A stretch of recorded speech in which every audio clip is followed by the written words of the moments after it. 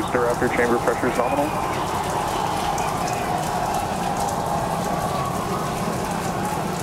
Plus 33 seconds into the test flight of the inaugural Starship vehicle. Tower cleared, we're into pitch over. Propulsion reports first stage engines nominal. What a sight from the ground cameras at Starbase. We're flying at twice the thrust of the Saturn V heading to space. Acquisition of signal, Corpus Christi. We're throttled down and throttled back up.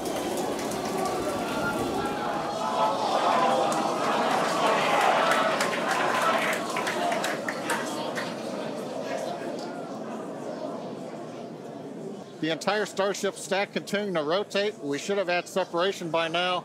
Obviously, this is uh, does not appear to be a nominal situation.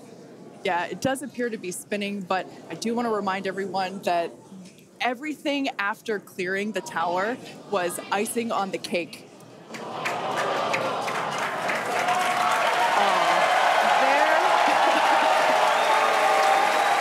And there, as you saw, as we promised, an exciting end to the Starship inaugural integrated test flight. A deep